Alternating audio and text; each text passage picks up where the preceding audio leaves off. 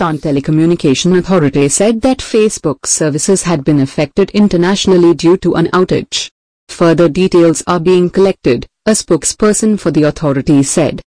Users trying to access Facebook in affected areas were greeted with the message, something went wrong. We're working on it and we'll get it fixed as soon as we can. We're aware that some people are having trouble accessing our apps and products, Facebook spokesman Andy Stone said on Twitter.